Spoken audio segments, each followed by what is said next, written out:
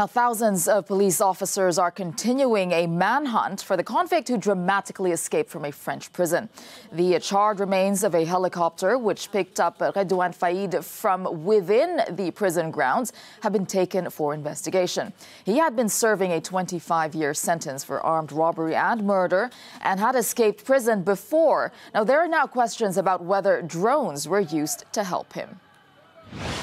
He was transferred for judicial reasons. Whilst he was away, there were no drones. When he came back, the drones returned. This would imply that the drones were there for him. And uh, joining me now by a Skype from Belfast is the former governor and director from the Northern Ireland Prison Service, Max Murray. Thank you very much, Max, for joining us today. This must have been a pretty sophisticated escape. How much help do you think a Faïd would have had to pull this off? Well, there's no question this was a well planned, well organised, well resourced, uh, and very well executed escape. And uh, without doubt, uh, he would have had sufficient um, funding to be able to support the escape, but also he would have had quite significant support from other fellow criminals.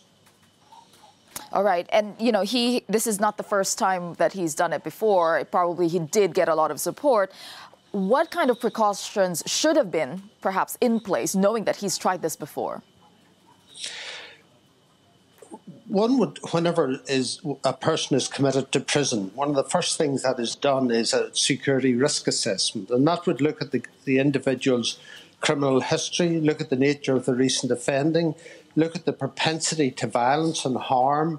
It would look at his ability to plan an escape, and more particularly, look at the level of danger that that individual would present to the public if he were to escape.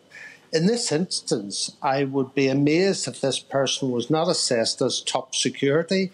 The previous escape was in uh, 2013, it's not that long ago, uh, and he should have been under a security regime that ensured that there was maximum physical security, maximum procedure security, and staff who were uh, looking after him were trained uh, to look out for issues around conditioning, issues uh, uh around preventing the person from uh, uh, planning any escape like this. So that would include monitoring visits, monitoring phone calls. So you would expect there would be a significant infrastructure, security infrastructure uh, that this individual would be subject to.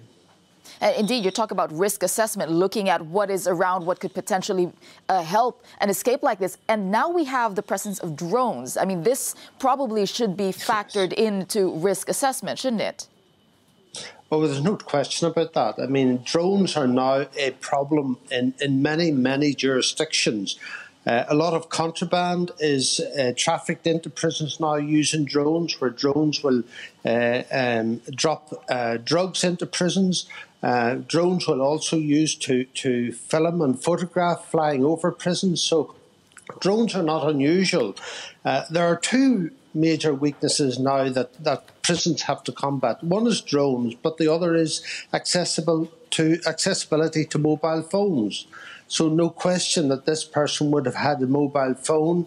He would have had immediate communication with those people who were helping him on the outside, uh, uh, and he would be able to plan virtually uh, without any interruption or without any real problems.